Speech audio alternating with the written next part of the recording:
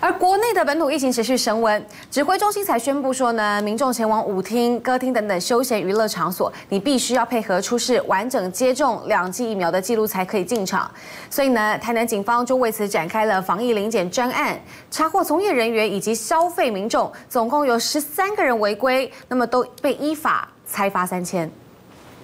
新冠疫情延烧南台湾，这也让台南市的防疫工作如临大敌。二十三号晚间，台南市第四警分局长王子维就亲自带队执行安平区舞厅、视听歌唱以及养生馆等特种行业防疫临检专案。一个晚上下来，警方分别到了五处场所临检，总共查获了包含四名从业人员以及九名消费民众未施打第二剂疫苗，分别开立稽查表十三张，并且各依传染病防治法裁罚三千元。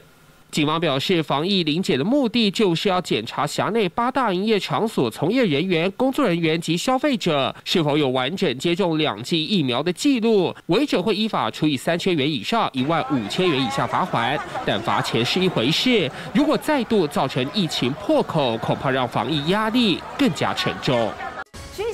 讯息不间断，给您最专业的新闻内容，都在东森新闻二十四小时 YouTube 直播，赶快来按赞，同时开启小铃铛哦。